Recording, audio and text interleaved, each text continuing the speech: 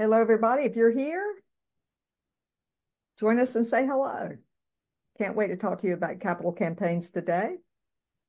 Let's this will be a great conversation, Gail. I know. I don't see any chat message. Hello, Yana Ross says good morning. Tell tell everybody, introduce yourself in the chat box and share your organization and where you're located. And Catherine, we can ask all sorts of fun questions in the we chat. Can. We how, can. How well people are getting along in these various areas. I know. How is if you're having a campaign, share with us how your campaign is going. Like, or if you're planning, if you're envisioning sex discuss, and discussing a campaign, let us know. So we see Leona Ross has said hello, and there. Oh, there's Bonnie from Calvert Marine. How are you doing? I love my maritime museums. I've worked with so many of them over my career.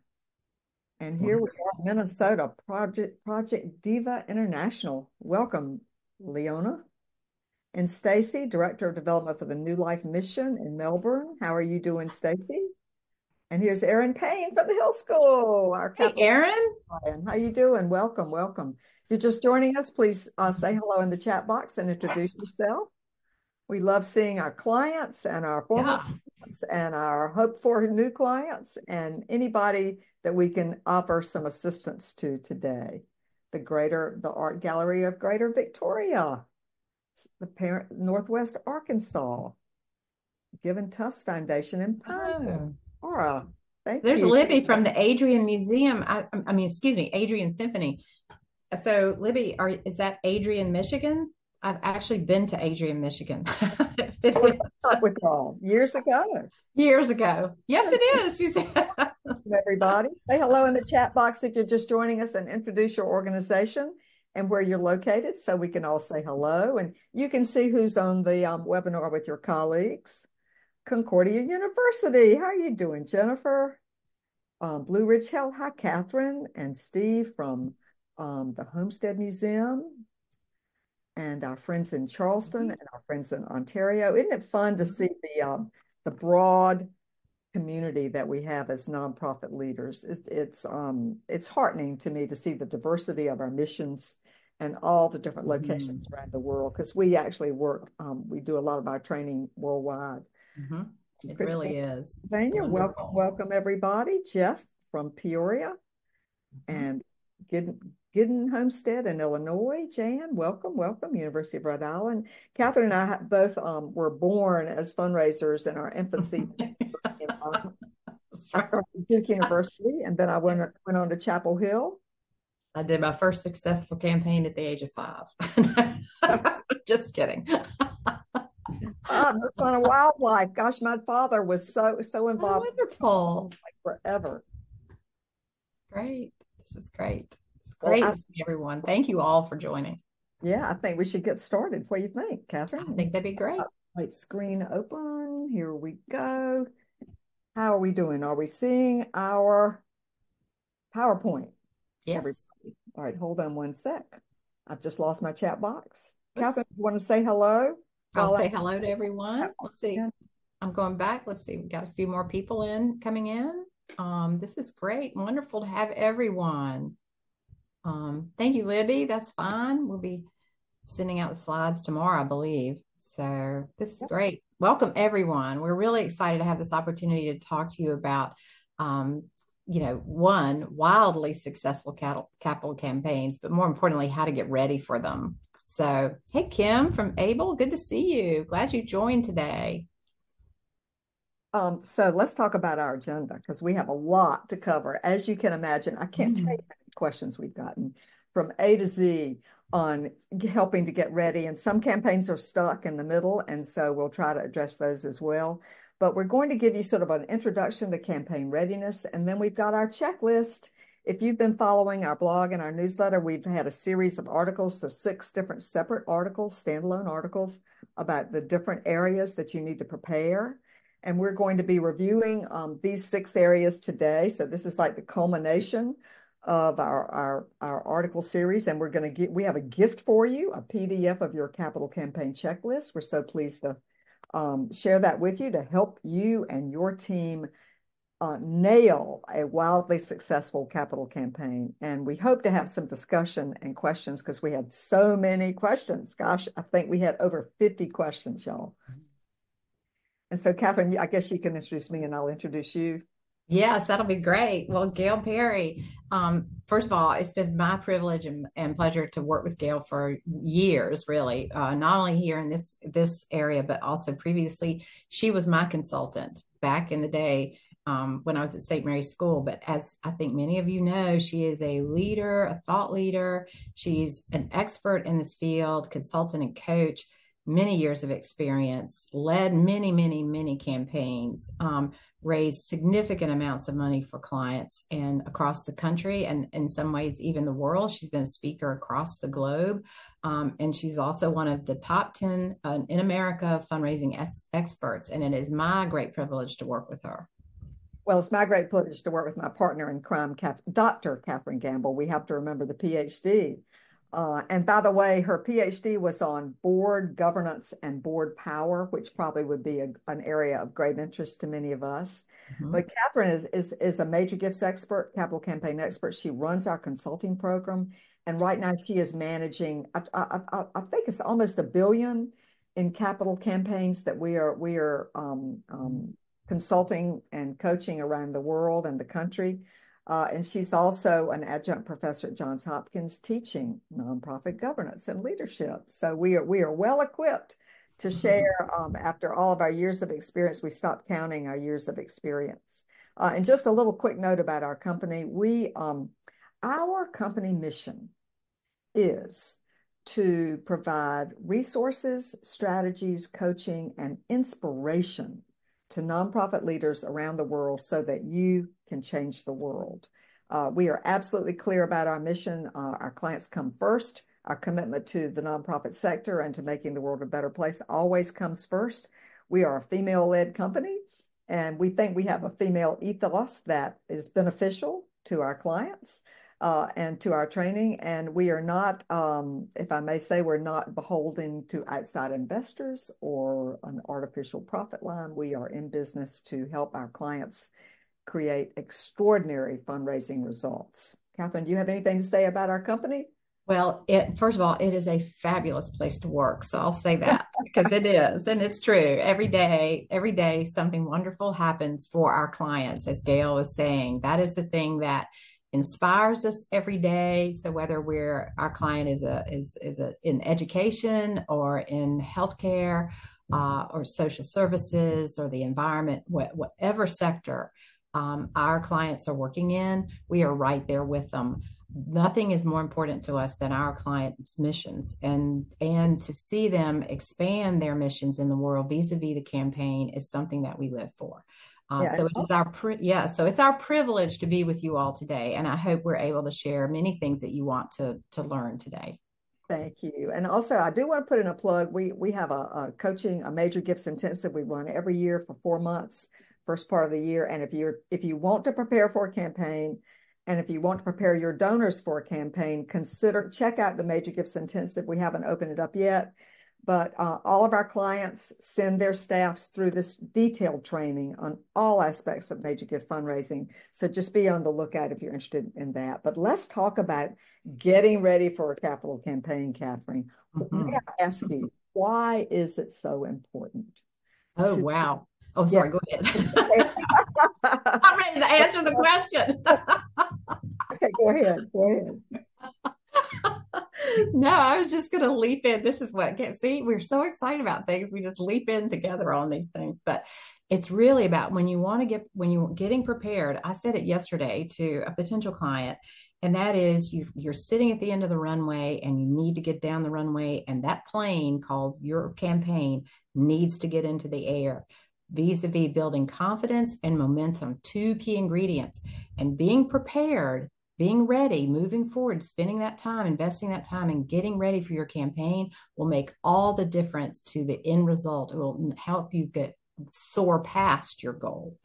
And one of the challenges we have is that lots of times boards and sometimes executive leaders are pushing, pushing, pushing. When are we going to start? When are we going to start? When are we going to start asking for money? Please. And so we would like to say carefully that you need to do all the, all the strategy work happens before you start asking.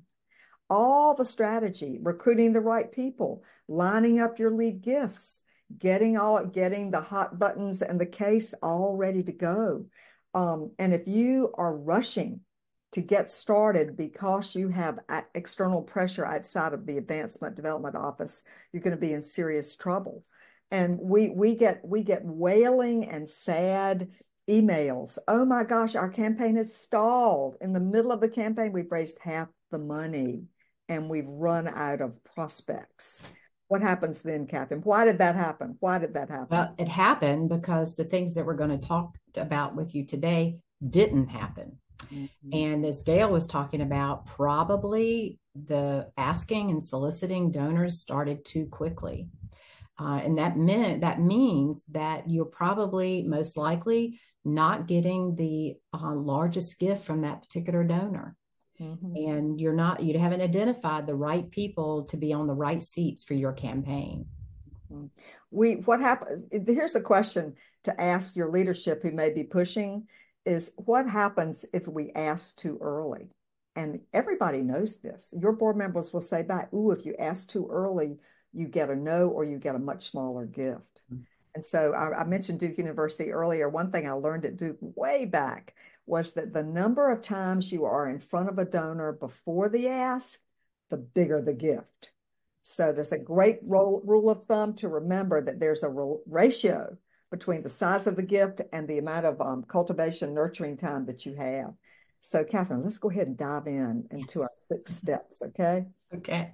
So, I wrote a whole book about board members and fundraising once upon a time, and I still I still work with boards. I'm working with a client board tomorrow. Um, is your board ready for a campaign? And so we have to get our boards ready. Why, Catherine? What happens? Why do we have to? Oh, well, a couple of reasons. One is they need to be 100% behind the strategy and the plan for the campaign. That is key. They absolutely have to have confidence um, in what it is that you're going to do. And so another thing is they need to be aligned to that. We're talking about alignment here. I really think that's what we're talking about. We have several steps that we take with boards in that process of planning for the campaign that helps them align. I like to say fly like geese.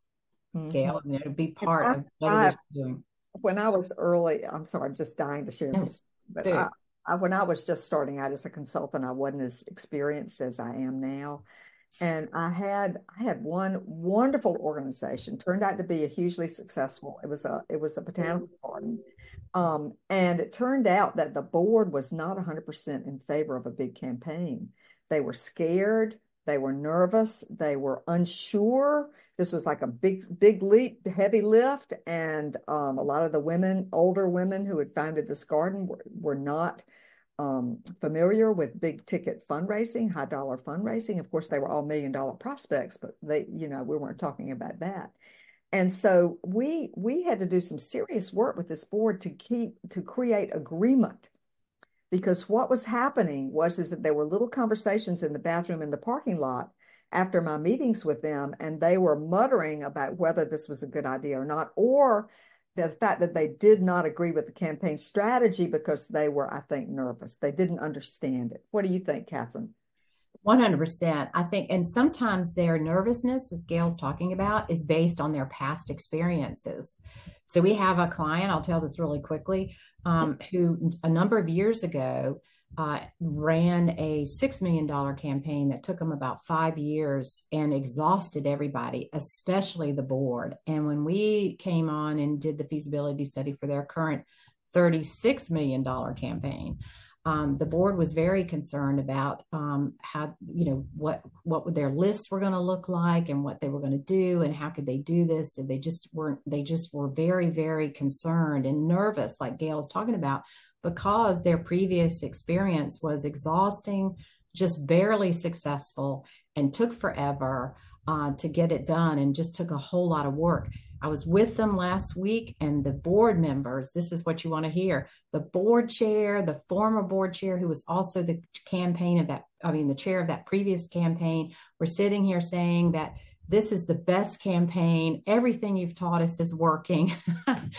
They've raised over nine. In fact, they just emailed me. They hit 10 million now, uh, just since last week, uh, and and in in just over a year, just over a year, because they lined up and they did all their preparation, like we're talking about today. Well, so you getting getting those dominoes lined up before the campaign is really and getting your board members aligned. Wouldn't it be wonderful to have your board members become your greatest fans because you are achieving so much success? Mm-hmm. Um, let's move on to I see we have a couple of um, organizations who completed our major gifts intensive wow. last year. Thank you so much, Susan and Jesse May. Um, we have so much fun in that program. Um, but we want board members who are influential. And, you know, if you're thinking about a capital campaign in the future years, you might want to add board members who have connections to wealth and or deep pockets yourself. You don't need a whole you don't need a whole um, board full of these types of people because you want diversity of all voices and you want your board to also reflect your community of stakeholders. However, you also want the connections to wealth and some deep money because the best possible situation is a dedicated, passionate board leader really steps up to either offer the um, the lead gift or one of the lead gifts or chair the campaign. Mm-hmm. So we, we like to be make sure that board members have those two qualities and also uh, let's speak a little bit about the whole concept of confidentiality. Mm. because mm. I have found way too often that board members don't understand that these prospect lists, I mean, often we don't share a detailed prospect list with the full board at all, just a small group who's involved with the campaign.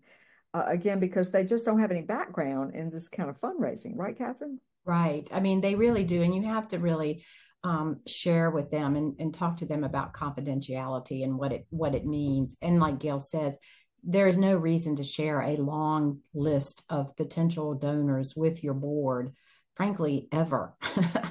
Um, not just in the campaign environment but it's all it does really is kind of create not only do, does is confidentiality an issue in that doing that but it also sort of unnerves the board um, so I wouldn't do that at all, but do discuss com- confidentiality with them. And I want to say one additional thing about the the influential piece, Gail, what you were talking about, putting adding donors.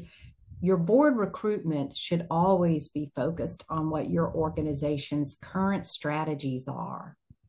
So you're looking for the right people who fit your organizational strategy. So if you're organization is hitting into a campaign because you're building a building, creating a new program, whatever it is the purpose of your campaign.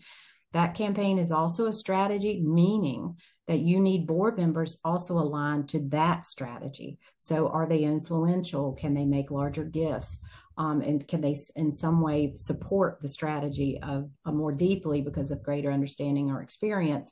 Um, it be more influential in helping support your campaign strategy. That's and, right and and you know uh, board members often are worried about their their the expectations for them to give. And again as i just said you want so much you want diversity robust diversity on your board. And so it's very important for your board members to understand that everybody should make a gift that they're personally proud of and they're personally capable of, of. Um, your board members do not they all should give 100% to the campaign. They've got to put their money where their mouth is since they're the organization's legal leaders and owners. However uh, it's very important for you to understand. Oh, Catherine, I just used your favorite phrase. Very important. yeah. We have several favorite phrases. uh, but they're but they're but they're but they're going to be asking about their financial expectations upon them personally. So board members are going to bring their own personal uh, maybe fears and expectations and their personal experiences to the boardroom when it comes time to discuss a capital campaign. So again, it's so important to make sure that you you stage discussions so that every voice is heard. And uh, that's when you can use an expert facilitator or learn some good facilitation skills yourself.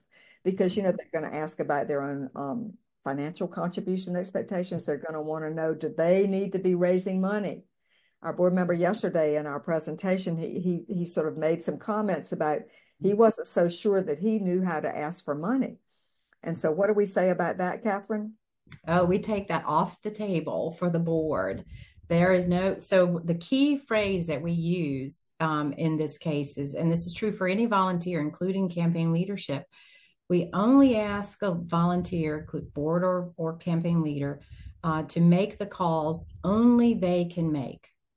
So, what does that mean? That means we're not prescriptive, in which you see many times in job descriptions for both the board and campaign leadership uh, often talk about you'll make 10 calls or you'll introduce us to five people. It sounds like a souped up development officer job for a volunteer. we rewrote that, um, what we do, uh, what we encourage uh, for our organizations to uh, describe the role of both their board and their campaign leadership.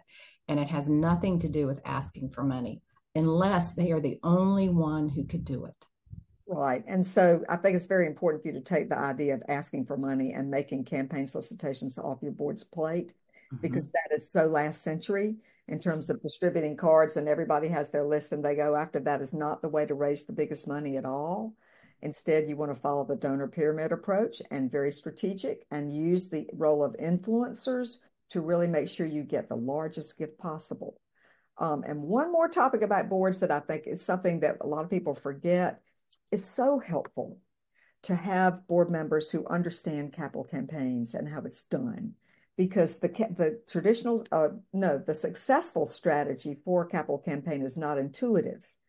And therefore um, it, it, it backs you up to either have strong consultants always and also board leaders and board members who can can help sway the opinion of the other board members so that they understand that this strategy is the one the strategy that's going to bring them the most success. So I'll tell you what, I haven't seen any comments in the chat box in about 10 minutes.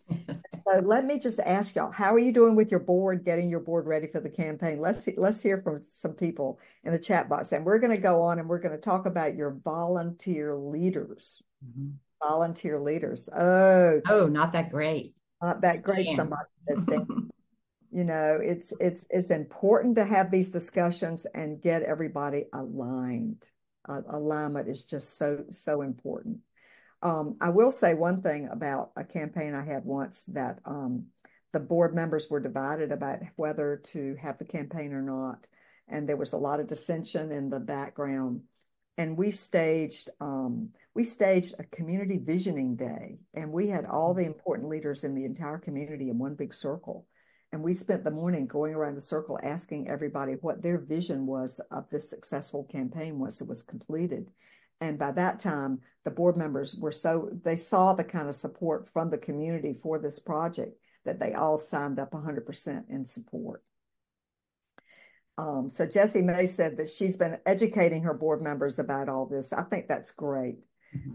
And um, Catherine's is, is, a bit challenged, yeah. And um, it, yeah, some board members will self-select off the board because they're personally discomfort, um, uncomfortable about fundraising, but they don't have to do the fundraising.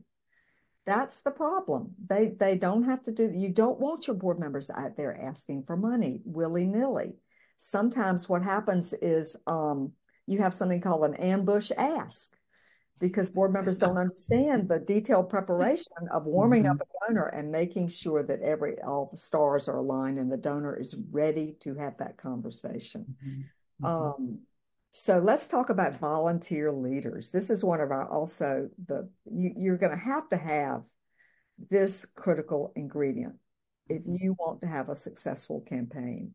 And so the kind of volunteer leaders you want sort of helping to brand your campaign in the community are people who have credibility and who are known because by lending their name to your effort, they are um, blessing your initiative. And it builds confidence in donors that these people who are leaders in your stakeholder community are behind the campaign. And look, you may be a huge or university or a grassroots organization, you have stakeholder, you have leaders, um, volunteer leaders who are well known and well respected in both of your communities.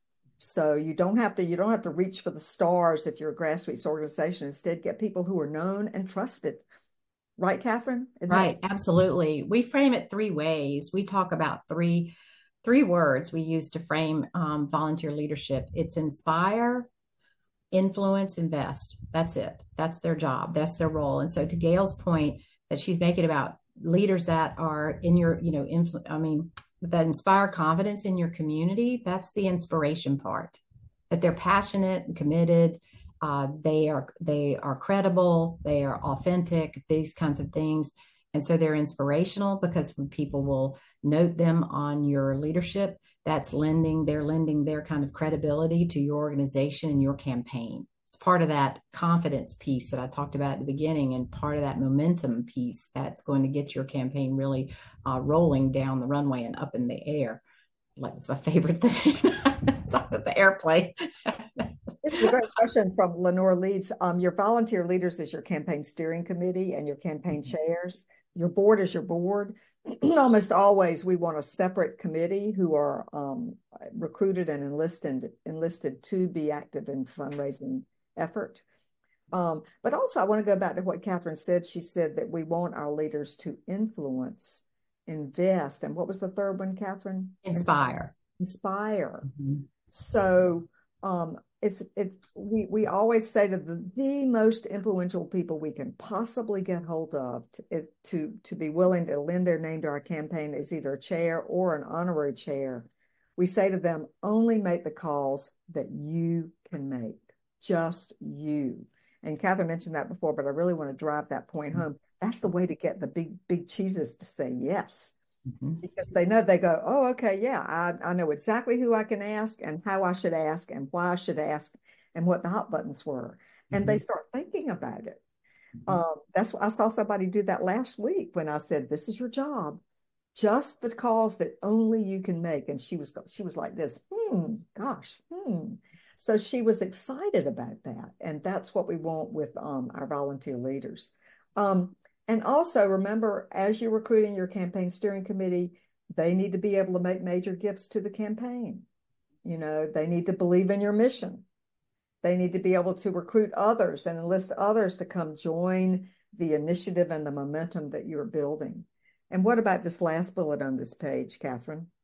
Absolutely. Give your team feedback and guidance on the case. We've got several of these, um, that kind of activity going on right now with several of our campaigns where we're, whether we're in, we're going to talk about the early case at some point, but today, but where, whether we're talking about the early case or, or the more um, later in the campaign, the more, more completed case, if you will, um, their their voice is really important. And an, and another way we sometimes frame the role of the volunteers, of volunteer leaders, campaign committee, planning committee, whichever stage the campaign's in, um, that we talk about is that the, and why this is important is that their voice, their voice represents the voice of your donors.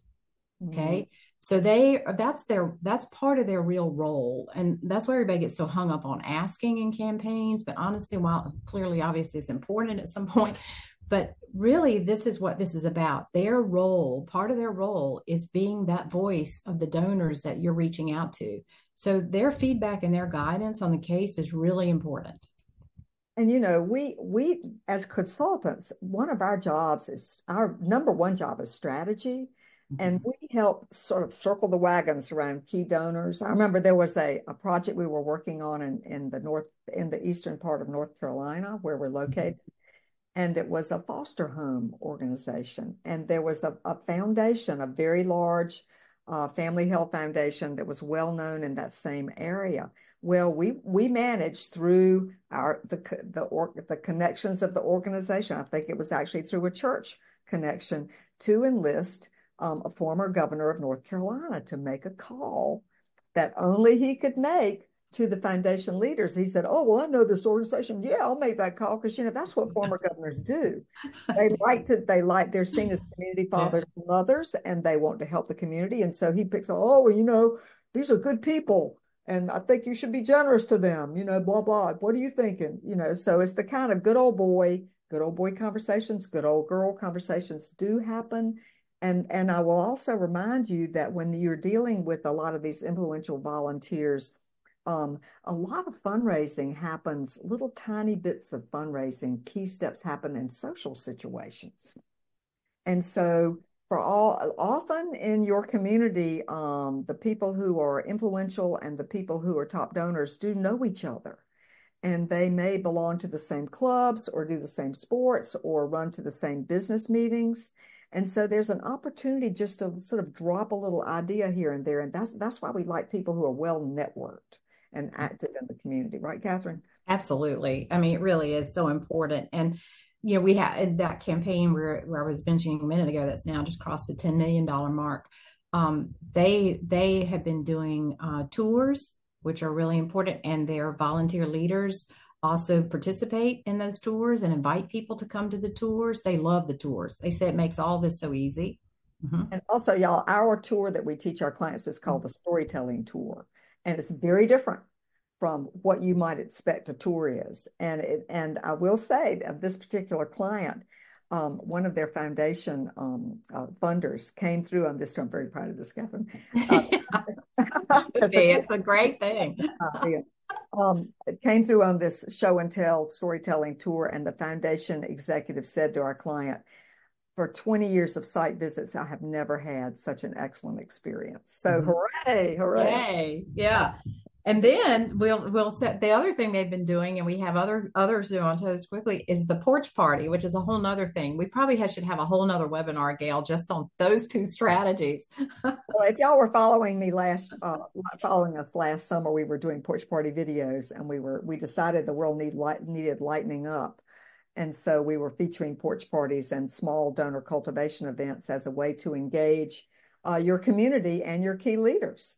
And Heather said, "Oh, she loved." By the Thank way, you Heather. Find, we have a YouTube channel. You can, I think, you can find them, on, and we even have a porch party resource center on our website. so if you go to the search box, you can find that, and also you can pull out our material on tours.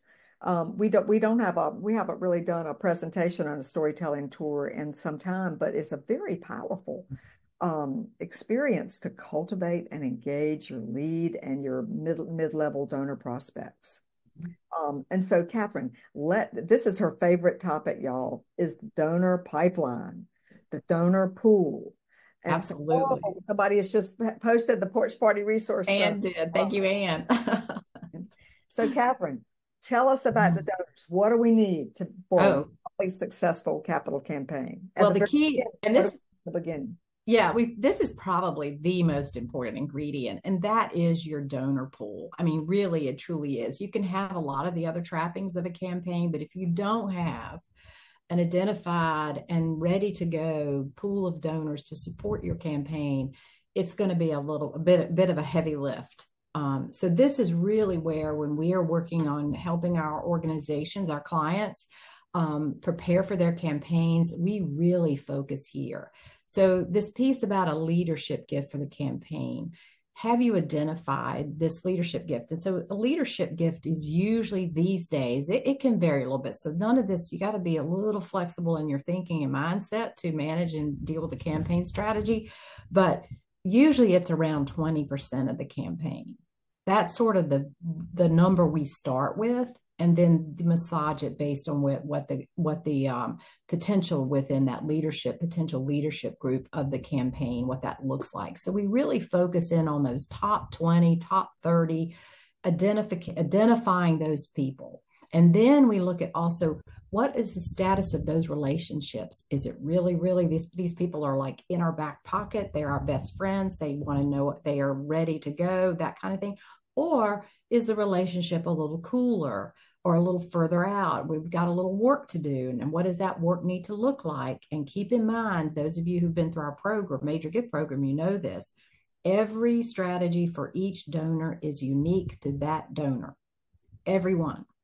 So, this is not about mailing letters or doing any of that kind of work. This is about strategizing and thinking through what are each step we're going to take with each one of these donors till we get to the point where we're having and ready to have a gift conversation. Mm-hmm. That's really key in this. We've got to identify those top 20, top 30 prospects for your campaign. That number can be a little smaller, a little bigger, depending on the size of your campaign. But that's where we really want to focus first in the campaign process. And you know, there are two different strategies that uh, start from opposite ends. One is can you make a list of your top 10 potential gifts or hoped for gifts on the back of a napkin or an envelope? Hopefully you should be thinking about these individuals and sources. These can be corporations, they can be um, major foundations, small private foundations, donor advised funds, whatever, or or your local government um, officials. Because remember, public-private partnerships are one of our specialties in our company. We I've even uh, um, registered as a lobbyist in the state, one state, to to um, to to secure five million for a campaign. It worked. But um but you you you can always it's always nice to see who comes to the top of mind because that's that's information for you that these names are well known. And then the other direction is wealth screening deep data mining. And now we can use ai and major gifts. We um, we are still exploring all of these new um, strategies and assets. But the fact is we always look with very catherine's middle name by the way is data And mm-hmm. so she's she's pouring over the wealth screening reports. We are partners with Donor Search, and we we really recommend that them because um, we thought we think they're the best, and also because we we we know how to we we have secret queries that Catherine does that she can pull out to identify mm-hmm. sleeper major gift prospects right at the beginning of a campaign. We we we found one. We have a, a lot of Habitat for Humanity. Um, mm-hmm campaigns, and we we told our uh, development director these people are sleepers, mm-hmm. and giving to you regularly for a very long time. And and so what what happened? What did Angie do, Catherine? She called this person and said, well, actually, it was um of what she shared some of these names with with their her committee. This again speaks to influence. And someone on the committee knew this one person and called and said, "We'd love to come see you." And they went to see them this gentleman and he said, you know, it's time for us to step up and give. And he made a $125,000 contra- commitment to their campaign. Their largest gift prior to that was $75. But we knew that they had the passion and the commitment to Habitat, and we knew they had the wealth. Mm-hmm. So Angie just said, "Would this be a good time to discuss your support of the campaign?" said, Favorite yes. question. I said yes. yes. Uh, by the way, Amory says, "Do you break down um, individual gifts from corporate and foundation gifts when you're doing your top 20 i would say no i, I we recommend ta- looking every um, every donor pool is going to be different for mm-hmm. every organization um, every institution every campaign mm-hmm. um, so your opportunities your opportunities whether they are public sources private sources foundations or corporations and i, I think you're you're better served at the very highest level to, and when you're trying to project your donor pipeline for the campaign, include them all. Now, when it comes time for strategies and execution, maybe that's the time when you break them into separate initiatives. Would you agree, Catherine? One hundred percent. And and um, I really do want to un- underscore, as Gail was talking about that campaign previously with the example of the sleeper donor. That particular organization was pretty much almost 100% individual support but we have another, and this is also a Habitat affiliate client um, who just closed uh, one of their first lead gifts, $5 million from a corporation. So they that organization will have far more gifts from corporations and foundations, and then some are in a mix. But yes, 100% what Gail said. And when you're looking at your top 20, top 30 um, prospects, look at all of those prospects corporations, foundations, even government for mm-hmm. sure, 100% you know, if you're a larger institution, we're running a $350 million campaign in the Midwest for a Children's Hospital. And um, we're, we're, their donor pool is very different. But the steps to close the gifts are the same. We have the influencers who are making only the calls they can make. We are preparing these donors who are also include some major corporate individuals um, we're preparing them and warming them up and warming them up and warming them up so that they're going to be ready when asked. Mm-hmm. Um, so we, you know, if you're a larger organization, you have principal gifts as well as major gift program. Um, you're evaluating your effectiveness of, um, and you're evaluating your donor potential. Um, and I agree with Catherine. I think donor potential is the number one ingredient for a successful campaign. And that's one of the first questions we ask when we're sizing up a potential client do you think you can raise the money? I'll say it this, yeah. And I'll say it this way. I think this is really, I like to say this this way because, you know, campaigns are a strategy too. So is a major gift program. A major gift program does not need a campaign, but a campaign must have major gifts. Yeah. So if you, and I will say this, if you don't have a major gift program, let me be clear too, it doesn't mean you can't have a campaign. It means that you can actually use the campaign to build your major gift program. And then when you finish your campaign, you have this wonderful group of major donors who have not made their last major gift to you, I can assure you you can roll right from this is what universities do. All those of you who are with universities know this.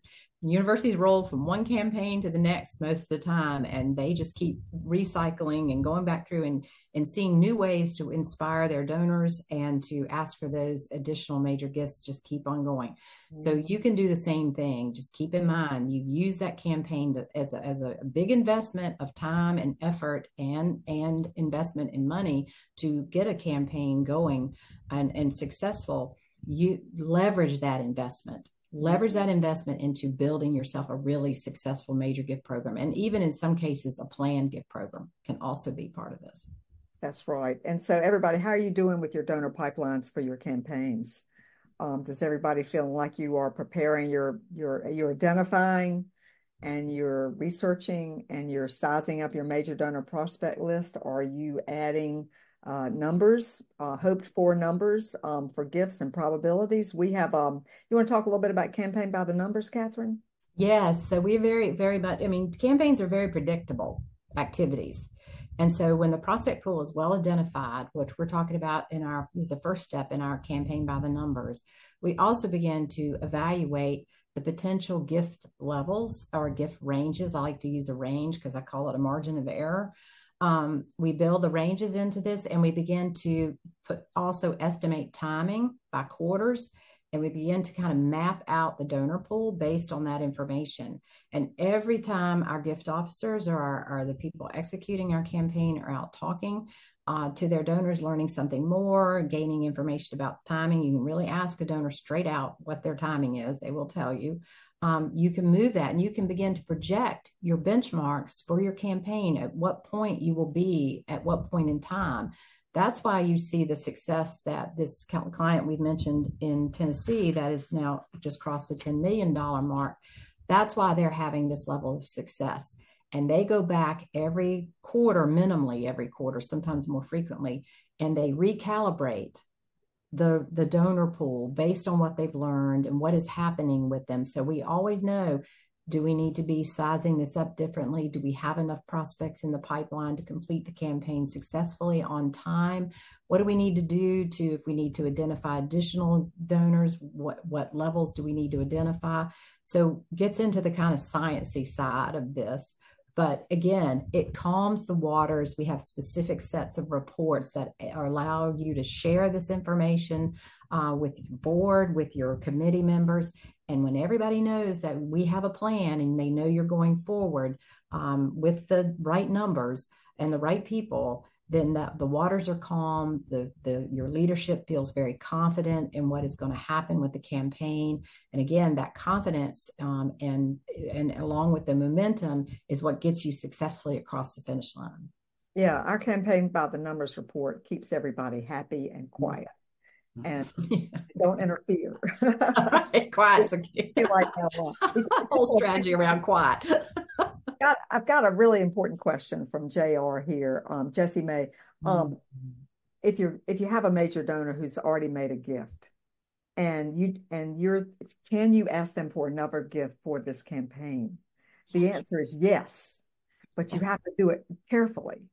And often, often we go back to our true believers to finish the last 10% of the campaign if, if we've exhausted our prospects or if we were, or the campaign capital project has increased, which capital um, projects, building projects can always increase. Mm-hmm. So it's it's almost standard to go back to the early, early donors and ask them. I mean, you have to use permission. You know, we teach a conversation based ask approach with a lot of permission. And so if, if you're, you can ask, ask the donor if they'd be willing to have another conversation about helping to complete the campaign and they can say yes or no.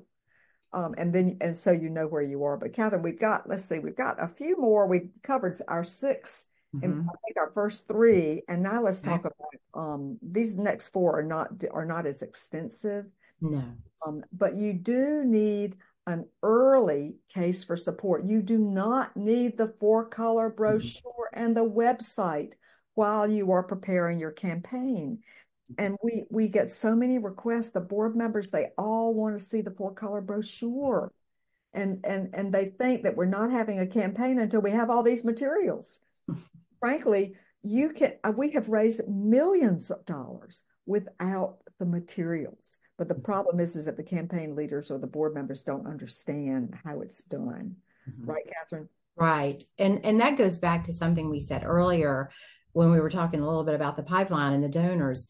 Keep in mind everything, you know, all your strategy around a particular donor is unique to that donor so should be any paper that you give them describing what it is that you're doing. So this early case gives you that opportunity to, to allow that flexibility. Let's say you have your your campaign has several parts eh, or several things you're funding and let's say you you know this donor really values deeply this one aspect of what it is you're raising money for. Do you want to send them a case for support that equally talks about all three things? Or do you want to send them something more customized that amplifies the thing that they value the most the thing that they potentially if you do it the right way that they may even be able to like make you know right. very large gift a lead level gift for that area of your campaign? So um, that customization is really critical. We kind of we talk about that a lot with our clients. Mm-hmm. And we we like to um, we like to have a white paper or a vision statement, just maybe two pages. When we're doing a feasibility study or we're having early conversations with donors, you do not need a lot of materials. And so the white paper format helps people think about this is our project.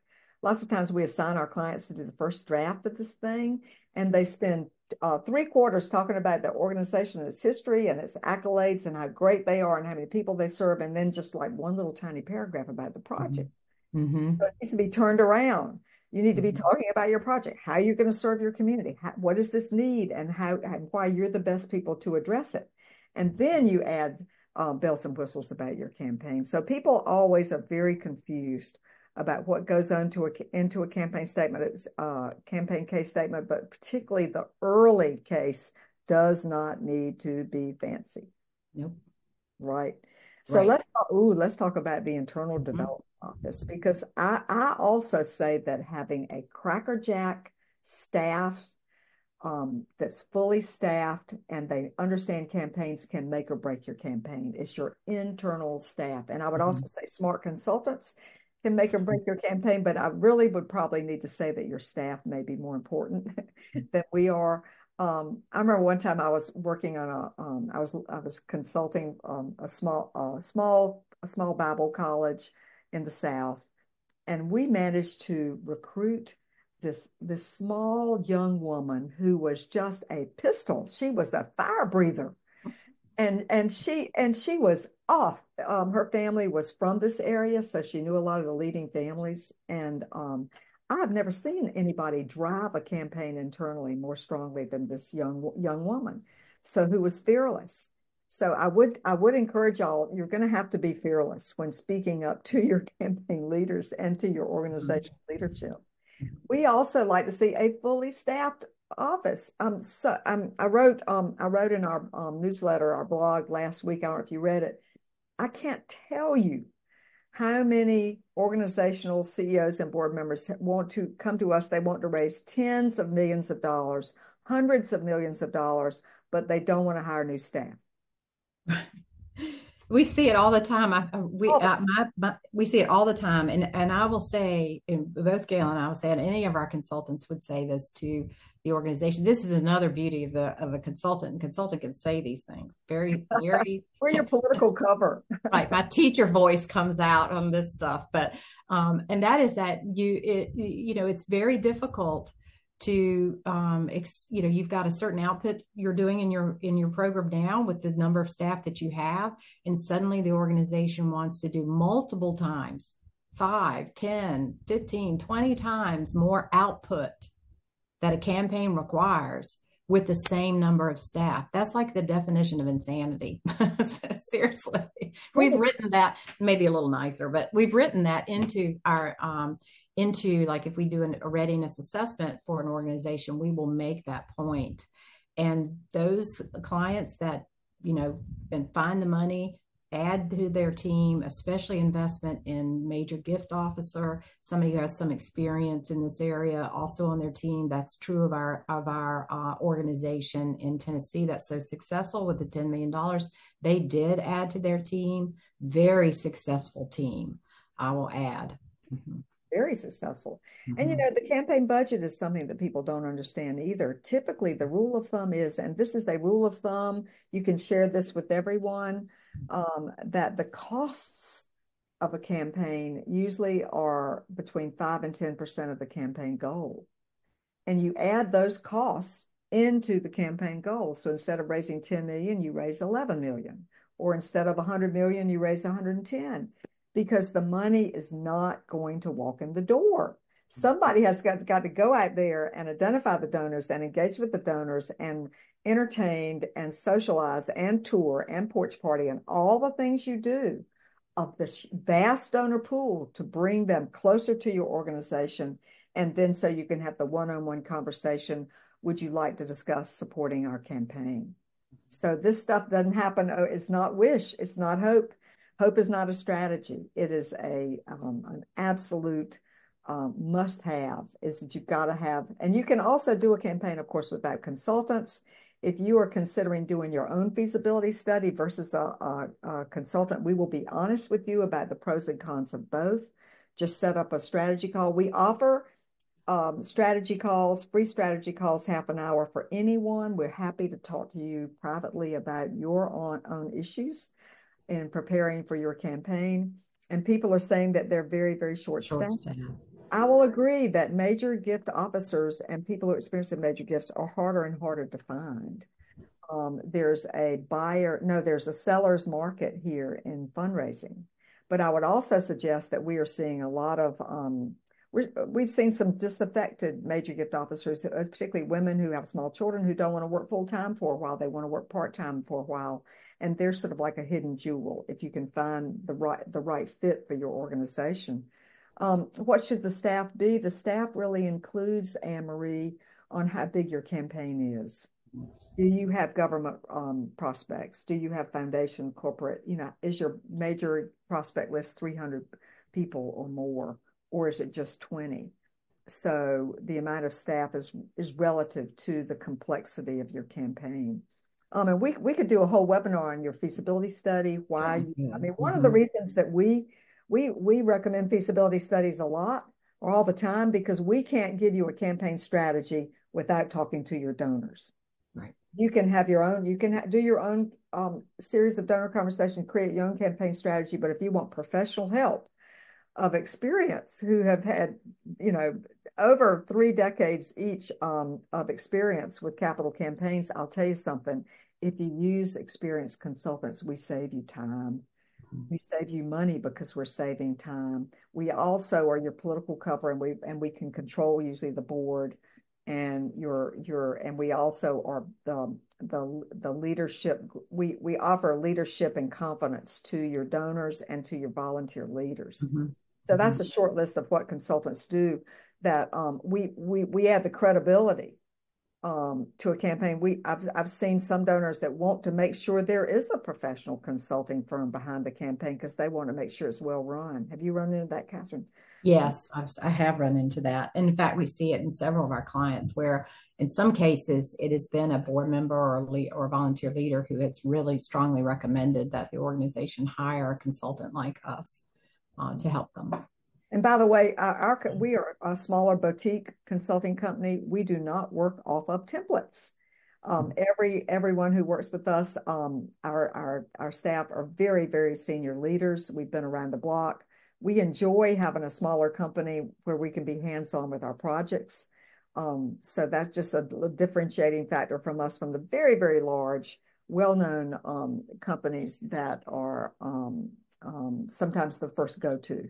We, we we're we're the second go to when that one doesn't work out right. Gail, when if we have time when we finish six, I'd like to answer Stacy's question about coming up short in the campaign, and I think it will answer a lot of people's questions that were in this. Let, let's do the image. This is our last of the six points, okay? And so the image is pretty straightforward. There is an issue of timing for every campaign. We, there's an issue of reputation and track record. And if your organization is in the public eye and you are perceived as a leader, and there is confidence in the leadership of running your organization and in your board, this sets the excuse me sets the stage for excellent fundraising. Right, Catherine? It absolutely does. I mean, it's huge. Your reputation of your organization and image of your organization and the image of the work. This is really getting to the impact of your organization on the community it serves. And I say it that way because it could be a local community based organization and it could be a large national organization. The community is more um, geographically dispersed. But whatever community you're serving, you need to be showing that impact. This is what um, this is what really does make a make a difference in the campaign and in your success going forward. So your reputation of gaining getting results and and impacting whatever issue you're addressing in your community is critical. Mm-hmm.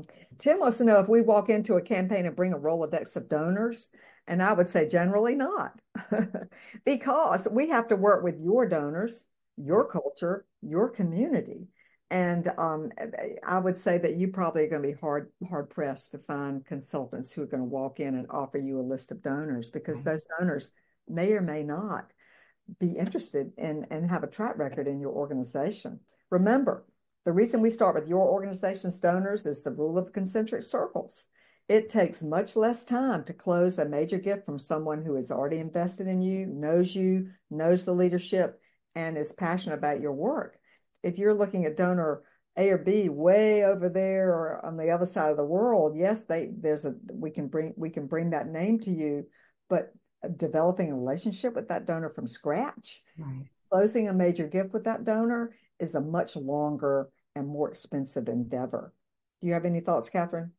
Agreed. I think, you know, we, like Gail was saying about, there are lots of ways to find, um, well, let me put it this way likely major donors are lurking in your database and you don't know that they are there until you know we do a, a wealth screen especially if you do not have a major gift program. If you don't have a major gift program never really talk to donors donors just don't walk in and mail in a major gift either.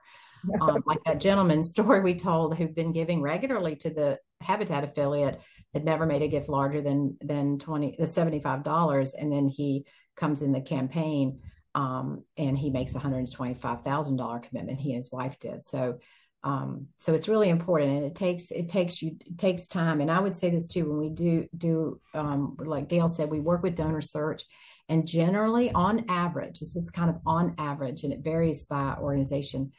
People you would have around twenty percent of major gift potential in your database.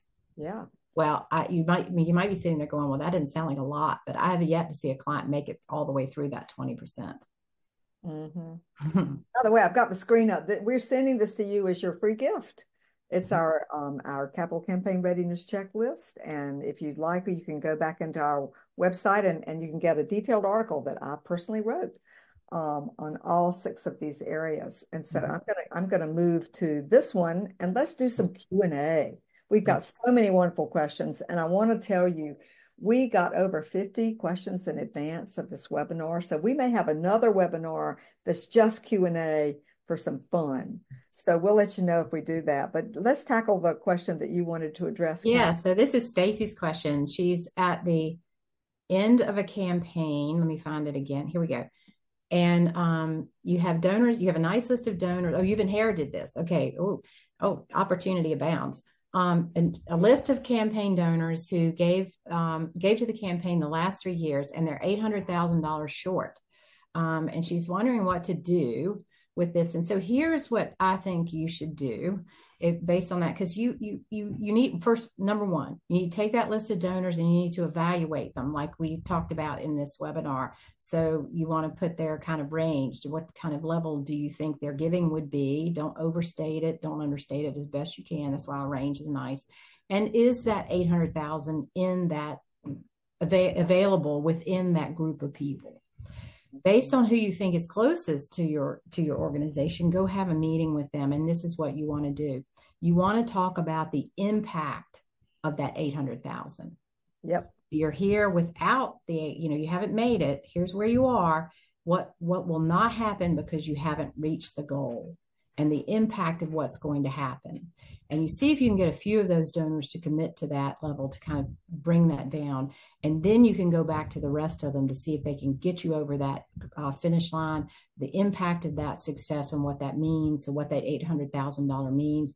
And then you really celebrate, celebrate it greatly. I think you can get there. As long as those donors you have on that list can, um, their potential giving can add up to 800,000. And I have another strategy.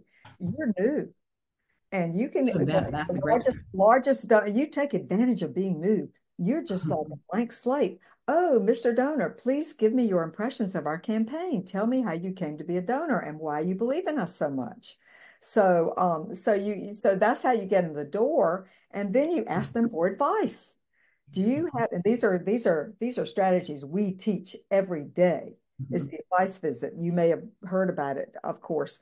Um, but uh, you ask them, um, tell them we are $800,000 short. What are their impressions of how, how we should be able to complete the campaign? And then it's easy to say, is this something you might like to help with? Mm-hmm. Very easy, very organic, and it's not the slightest bit pushy. So everybody, um, gosh, thank you so much. This is so much fun. Cara, I want to have a shout out for you.